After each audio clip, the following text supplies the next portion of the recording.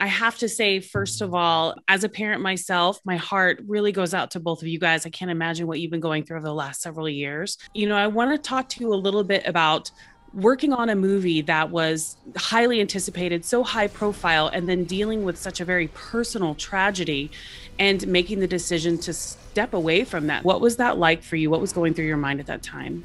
It was a difficult time for us. And, um, you know, frankly, you know, these kind of things happen to people. Uh, and, you know, it really makes you evaluate like kind of what you're doing and like what, what means stuff and what, what has value in your life. And it just, you know, your priorities get a little bit, you know, kind of, you have to reevaluate them. And, and I think that we, as a family, just were like, this is ludicrous what, what's happening right now. So we, we made that decision. And it's it, in retrospect, you know, it seemed like, and it seems like now uh, the thing that we did the right thing.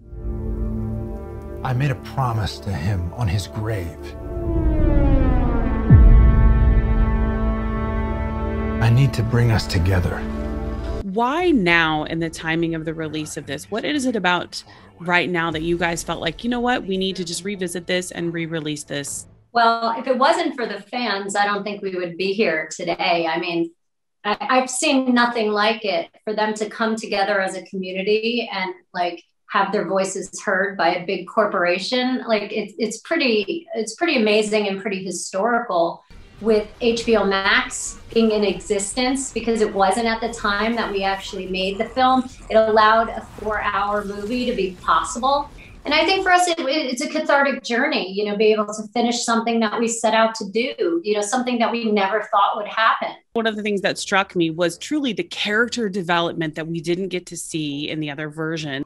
You know, we really wanted um, Cyborg, frankly, to be the heart of the movie and to be really the the why of it. He's a super important character. He he's an important character in the DC universe, and you know, in a lot of ways, he, he reflects a personal journey that so many people have been on, whether they've been maybe undervalued or they've been, you know, um, they don't know their place in the world and they're trying to figure out what they what they are, what they mean.